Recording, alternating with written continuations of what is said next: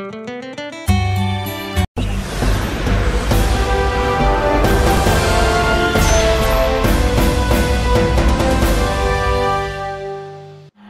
और आप देख रहे हैं पल पल। मेडिकल एंट्रेंस टेस्ट यानी नीट की परीक्षा में राजस्थान के सीकर के नलिन खांडेवाल ने टॉपर किया।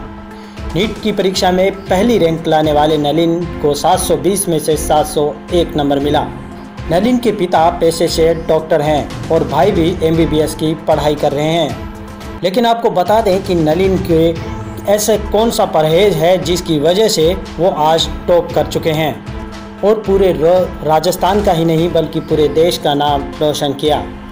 2019 के टॉपर नलिन खंडेवाल ने एक टीवी चैनल को बताया कि उन्होंने पढ़ाई के दौरान सिर्फ़ एक परहेज रखा और वो परहेज है स्मार्टफ़ोन से दूरी का।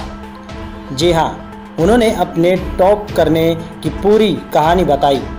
नलिन कहते हैं कि मैंने कभी भी स्मार्टफ़ोन का प्रयोग नहीं किया। घर वालों से बातचीत करने के लिए सामान्य फ़ोन रखता था। वे कहते हैं कि मैंने कभी भी सोशल मीडिया का भी यूज़ नहीं किया। और परिवार के साथ किसी भी पार्टी या सोशल गैदरिंग में हिस्सा लेने से बचता रहा हूँ। सीकर में ही स्कूली पढ़ाई करने के बाद नरेन पिछले दो साल से जयपुर की एक कोचिंग सेंटर में पढ़ रहे थे। नलिन का कहना है कि दो साल उन्हें एन की किताबों से पढ़ाई के साथ साथ कोचिंग ली, जिसमें से छः से सात घंटे तक रोज़ाना पढ़ाई करनी पड़ती थी। उन्होंने कहा कि पढ़ाई कितने घंटे करते हैं? ये मैटर नहीं करता। पढ़ाई आप लगातार करें तो बेहतर नतीजे सामने आएँगे। उन्होंने ये भी कहा कि कभी भी स्ट्रेस नहीं लेना चाहिए, और अगर किसी भी प्रकार का आपको डाउट है तो उसे अपने टीचर से ज़रूर पूछना चाहिए। बच्चों के मन में अक्सर यह बात आती है कि छोटा डाउट है, या उनके मन में एक आधा कोई प्रश्न होता है, जिसका जवाब उन्हें शायद नहीं मिल पाता। उनके बीच में एक संकोच होता है कि बार बार पूछेंगे तो लोग कहेंगे कि एक छोटा सा सवाल है, जिसे बार बार पूछ रहा है।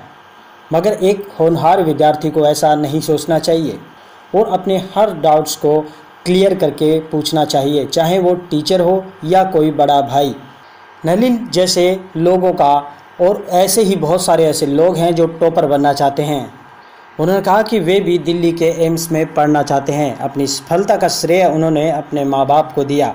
नलिन के पिता राकेश खांडेवाल ने कहा कि वह शुरू से ही मेधावी रहा है और बारहवीं की परीक्षा में भी पचानवे प्रतिशत नंबर लाए थे। उन्हें पढ़ाई के लिए कुछ भी करने की ज़रूरत नहीं पड़ती, वह पढ़ता रहता है। वहीं जब